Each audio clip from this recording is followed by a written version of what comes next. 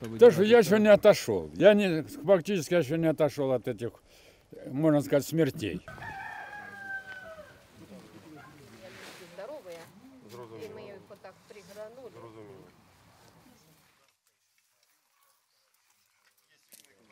Испугалась.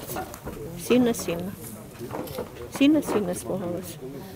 Это лужа крови у меня до сих пор перед глазами. Огромная лужа крови.